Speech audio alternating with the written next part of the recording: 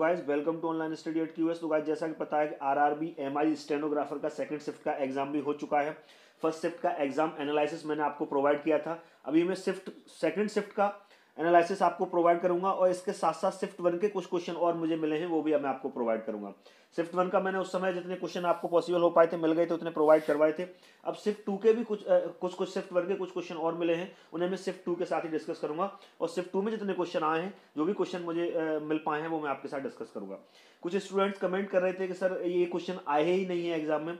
तो देखिए क्वेश्चन आए या नहीं आए ये क्वेश्चंस जो हमें आप स्टूडेंट्स ही भेजते हैं, अब वो कितना सही भेजते हैं, कितना गलत भेजते हैं, हम नहीं कह सकते। स्टूडेंट्स के थ्रू ही हमें क्वेश्चन मिलते हैं, जो पेपर देने जाते हैं। हम लोग तो जाते नहीं है एग्ज़ाम पर। तो जो स्टूडेंट्स पेपर देने जाते हैं, उन्हीं के थ्रू हमें मिलते हैं क्वेश्चन अब कितना याद रहता है, बच्चे को कितना याद नहीं रहता है कितना सही बता पाता है।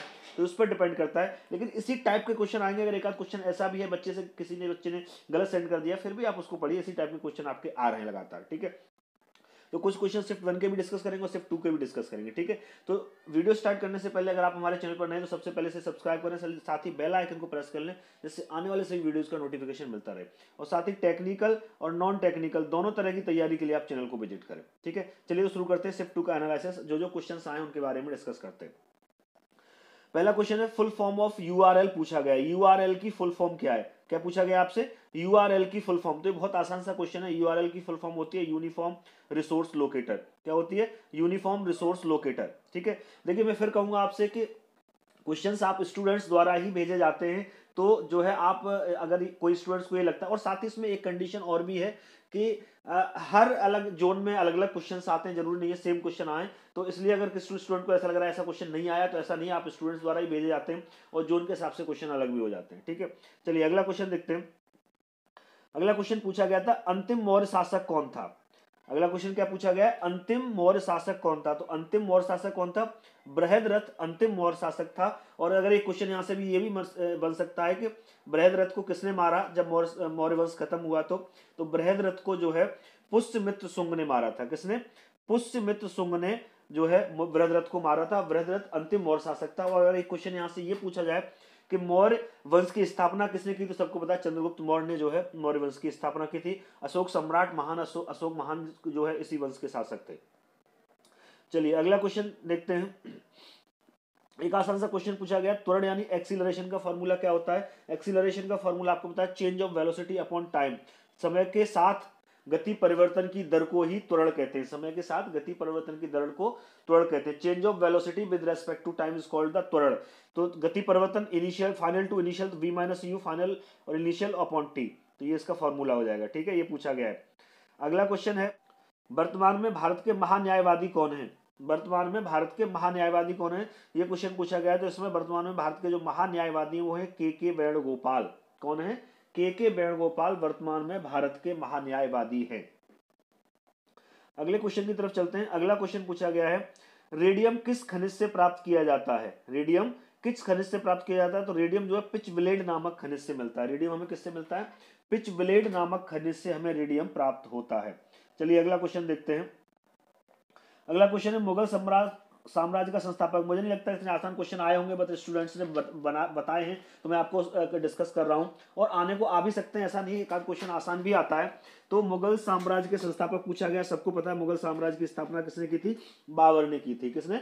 बाबर ने की थी मुगल साम्राज्य की स्थापना। ठीक है? चलिए, अगला क्वेश्चन एक मैथ से मिला है मुझे, वो मैं आपके साथ डिस्कस करता हूँ। क्वेश्चन है A plus B equals to five A plus B equals to five तो क्वेश्चन में दिया हुआ है A plus B equals to five और A minus B equals to three तो इस तो पूछा है कि two A square plus B square का मान क्या होगा? ये पूछा गया है तो two A square plus B square का मान क्या होगा? तो देखिए, इसको हम क्या करेंगे? आगे सॉल्व कर लेंगे। बहुत आसान सा क्वेश्चन है। इसको हम क्या करेंगे? A plus B equals to five और A minus B equals to five इसको जोड़ देंगे इस इक्वेशन को। तो क्या हो जाएगा? ए और ए टू ए हो जाएगा और बी से बी कैंसिल हो जाएगा। पाँच और तीन आठ हो गया। ठीक है? तो यहाँ से टू इक्वल्स टू एट तो एट इक्वल्स टू क्या हो जाएगा? Eight by two that is the four इस ए की वैल्यू फोर किसी भी इक्वेशन में रख दो तो हमें क्या मिल जाएगा? बी की वैल्यू मिल जाएगी। ए प्लस बी पहली इक्वेशन में रख दो। पहली इक्वेशन है A plus B equals to five तो ए की जगह फोर रख दो four plus B equals to five that is B equals to five minus four that is the one तो बी की वैल्यू क्या आ गई? वन आ गई, ठीक है? अब रख दो ए और बी की वैल्यू यहाँ पर टू ए की वैल्यू क्या है? फोर तो फोर का स्क्वायर हो जाएगा तो सिक्सटीन हो गया, और प्लस बी का स्क्वायर बी की वैल्यू वन है वन का स्क्वायर वन हो जाएगा sixteen plus one seventeen seventeen two जा थर्टी फोर चौंतीस इसका आंसर आ जाएगा। तो इस तरह के क्वेश्चन आ रहे हैं। आसान से क्वेश्चन है, आप बड़े इजीली इसको कर सकते हैं, ठीक है? चलिए आगे देखते हैं। अगला क्वेश्चन देखिए। अगला क्वेश्चन फिर मैथ से पूछा गया है। ये भी आसान सा क्वेश्चन है आपका। क्वेश्चन है वन फोर नाइन सिक्सटीन तो अगली यूनिट यहाँ पर क्या होगी? आपसे क्या पूछा गया है? कि अगली डिजिट यहाँ पर क्या होगी? One comma four comma nine comma sixteen तो अगली डिजिट यहाँ पर क्या होगी? ये आपसे पूछा गया। देखिए, आसान सा क्वेश्चन है। अगली डिजिट आपको निकालनी है। तो वन क्या है? वन का स्क्वायर है। फोर क्या है? टू का स्क्वायर है। नाइन क्या है? थ्री का स्क्वायर है। और सिक्सटीन क्या है? फोर का स्क्वायर है। तो यहाँ पे क्या आ रहा है? वन का स्क्वायर टू का स्क्वायर थ्री का स्क्वायर फोर का स्क्वायर इसी रेशियो में अगला क्या आएगा? फाइव का स्क्वायर फाइव का स्क्वायर क्या होता है? ट्वेंटी फाइव तो आंसर क्या हो जाएगा आपका? Twenty five one four nine sixteen के बाद अगली डिजिट क्या होगी? ट्वेंटी फाइव क्या हो जाएगी? ट्वेंटी फाइव आपकी अगली डिजिट हो जाएगी। आसान से क्वेश्चन है, इस तरह के क्वेश्चन आपसे पूछे जा रहे हैं। ठीक है? स्टूडेंट्स जो हमें क्वेश्चन भेजते हैं, वही हम आपके साथ डिस्कस करते हैं। आपके मन में ये नहीं आना चाहिए कि ये क्वेश्चन आया नहीं जोन के हिसाब से भी अलग अलग हो सकते हैं। ठीक है? तो ये चीज़ आप ध्यान रखिए। अगला क्वेश्चन पूछा गया, अनुच्छेद सत्रह किससे संबंधित है? संविधान का अनुच्छेद सत्रह जो है, वो किससे संबंधित है? ये पूछा गया है। तो अप्रस्यता के अंत का संबंधित है। अनुच्छेद सत्रह किससे संबंधित है? अप्रस्यता का अंत हुआ था इस अनुच्छेद के द्वारा। पहले जातिवाद छुआछूत ज़्यादा था तो इसका अनटचेबिलिटी जो थी, उसको खत्म करने के लिए अनुच्छेद सत्रह इसमें वर्णित है। तो अनुच्छेद सत्रह क्या करता है? अप्रस्यता का अंत करता है। ठीक है, चलिए, अगला क्वेश्चन देखते हैं। अगला क्वेश्चन आपसे पूछा गया कि संविधान में पहला संशोधन कब किया गया था? संविधान में सबसे पहला संशोधन, पहला अमेंडमेंट कब हुआ था? पहला अमेंडमेंट कब हुआ था? सबसे पहला संशोधन जो था, संविधान में कब किया गया था? आसान सा क्वेश्चन है, सबसे पहला संशोधन कब हुआ था संविधान का? 1951 1951 ईस्वी में संविधान में पहला संशोधन किया गया था। ठीक है? अगला क्वेश्चन देखिए, अगला क्वेश्चन आपसे पूछा गया हीराकुंड बाँध कहाँ पर है? हीराकुंड बाँध कहाँ पर है? तो हीराकुंड बाँध सबको पता है महानदी पर बना हुआ है और ये कहाँ पर है? उड़ीसा में है। महानदी पर उड़ीसा में बना हुआ है, ये सबसे लंबा बाँध है। तो हीराकुंड बाँध क्या हो गया? महानदी पर उड़ीसा में बना गया है, ठीक है? अगला क्वेश्चन देखते हैं।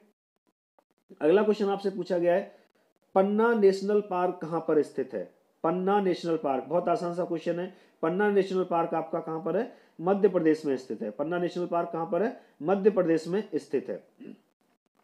अगला क्वेश्चन फिर एक मैथ से मुझे मिला है। आसान सा क्वेश्चन है, ये भी बड़े आसान सही, अच्छे अच्छे क्वेश्चन आ रहे हैं। तो ये भी मैं डिस्कस कर लेता हूँ। क्वेश्चन में आपसे पूछा गया A race to B equals to three race to four A race to B मैं आपको बता देता हूँ A race to B equals to three race to four और उसके साथ क्या गया है? B race to C equals to five race to six तो क्वेश्चन में आपसे पूछा गया A race to B race to C क्या होगा?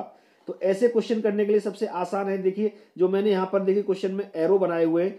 पहले क्या है? सीधा सीधा ऊपर से नीचे तक मल्टीप्लाई करो। तो पहले तीन है और फिर पाँच है। तो पाँच थी पंद्रह। तो ये आ जाएगा पंद्रह। ठीक है? उसके बाद जो सेकंड डिजिट है, उसका पहली डिजिट है। यानी देखो, ये एरो बना हुआ है। फोर का फाइव से हो जाएगा। तो क्या हो जाएगा? फाइव फोर जा इसका, यानी फोर का फाइव से हो जाएगा। फाइव फोर जा ट्वेंटी तो अगली डिजिट ट्वेंटी आ जाएगी। फिर सीधा सीधा ऐसे करेंगे। यानी सीधा सीधा ऐसे करेंगे तो क्या हो जाएगा? फोर फोर सिक्स जा ट्वेंटी फोर तो अगली डिजिट आ जाएगी ट्वेंटी फोर ठीक है? तो देखो ये एरो बना के मैंने आपको दिखाया कैसे मल्टीप्लाई करके निकालना ये ट्रिक है, आसान सा क्वेश्चन है तो क्या हो जाएगा? Fifteen race to twenty race to twenty four इसका आंसर हो जाएगा, आसान सा क्वेश्चन ठीक है? चलिए अगला क्वेश्चन देखिए। अगला क्वेश्चन फिर मैं से पूछा गया अगर पाँच छत्तीस से संबंधित है five race to thirty six अगर पाँच छत्तीस से संबंधित है तो उन्नीस किससे संबंधित होगा? अगर पाँच छत्तीस से संबंधित है तो उन्नीस किससे संबंधित होगा? या कह लो five race to thirty six then उन्नीस रेस टू क्या होगा वैल्यू देखिए, पाँच के पाँच के बाद क्या आता है? छह आता है मैंने लिख के आपको दिखाया, पाँच के बाद छह आता है, छह का स्क्वायर करेंगे तो थर्टी सिक्स आ जाएगा तो ये थर्टी सिक्स आ गया। ऐसे ही अगली वैल्यू निकालने के लिए हम क्या करेंगे? उन्नीस दिया है तो उन्नीस के बाद क्या आता है? बीस, और बीस का स्क्वायर करेंगे तो फोर हंड्रेड तो यहाँ उन्नीस के बाद अगली डिजिट आ जाएगी फोर हंड्रेड क्या आ जाएगी? फोर हंड्रेड तो बिल्कुल आसान सा क्वेश्चन है, ठीक है? चलिए अगला क्वेश्चन देखते हैं। नेक्स्ट क्वेश्चन है इकसठवा संविधान संशोधन कब हुआ था? ठीक है क्वेश्चन एक्चुअली किसी स्टूडेंट्स ने बताया है थोड़ा घुमा के पूछा गया है कि एज क्राइटेरिया जो था वो किस संविधान संशोधन में जो है मीन किस अमेंडमेंट में चेंज किया गया था? जो एज का क्राइटेरिया था, वो किस संशोधन में चेंज किया गया था? तो जो एज का क्राइटेरिया था, वो इकसठवें संविधान संशोधन में चेंज किया गया था और एज जो है 21 से 18 वर्ष कर दी गई थी। कितनी? 21 से 18 मेच्योरिटी एज जो थी 21 से 18 वर्ष कर दी गई थी और ये इकसठवा संविधान संशोधन जो है कब हुआ था? 1989 में हुआ था। क्वेश्चन शायद थोड़ा दूसरी तरीके से पूछा बच्चा बता नहीं पाया। ठीक है, चलिए अगला क्वेश्चन देखते हैं। नेक्स्ट क्वेश्चन है, चोला वंश के संस्थापक कौन थे? इसमें थोड़ा कंफ्यूजन है, बच्चे ने क्वेश्चन पूछा है या ये एग्ज़ाम में पूछा गया है, देख लेना, लेकिन इसी टाइप के क्वेश्चन आपको देखने के लिए मिलेंगे। चोला वंश के संस्थापक पूछा गया, चोला वंश के संस्थापक कौन थे? तो चोला वंश के जो संस्थापक थे वो विजयालय थे। कौन थे? विजयालय थे। नेक्स्ट क्वेश्चन देखिए। नेक्स्ट क्वेश्चन है, ब्रह्मपुत्र की सहायक नदी कौन सी है? बहुत आसान क्वेश्चन है, ब्रह्मपुत्र की सहायक नदी है वो लोहित नदी है। तो ब्रह्मपुत्र की सहायक नदी कौन सी हो गई? लोहित नदी हो गई। अगला क्वेश्चन देखते हैं।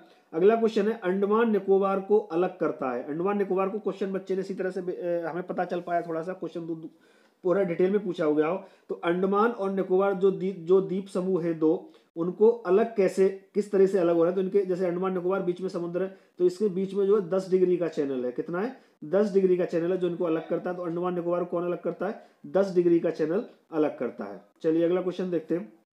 दिलवाड़ा के मंदिर से संबंधित एक क्वेश्चन पूछा गया है। तो दिलवाड़ा का जो मंदिर है, वो राजस्थान के माउंट आबू नामक पर्वत पर है। माउंट आबू राजस्थान में स्थित है। दिलवाड़ा का मंदिर कहाँ स्थित है? माउंट आबू राजस्थान में स्थित है। चलिए ठीक है, अगला क्वेश्चन देखिए।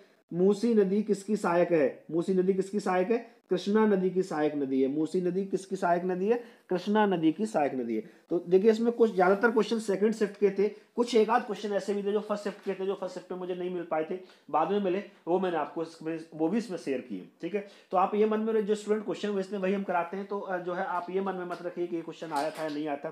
सारे क्वेश्चन स्टूडेंट्स को याद नहीं रहते, कुछ एक क्वेश्चन याद रहते हैं, कुछ क्वेश्चन थोड़ा डिफरेंट तरीके से याद रह जाते हैं तो थोड़ा चेंजेस भी हो जाता है। बहरहाल इसी तरह के क्वेश्चन आपके आने वाले ठीक है? तो लाइक और शेयर करते रहिए वीडियो को। टेक्निकल और नॉन टेक्निकल दोनों तरह की तैयारी के लिए चैनल को विज़िट कीजिए। ठीक है? मिलता हूँ कल के अगले एनालिसिस के साथ। तब तक के लिए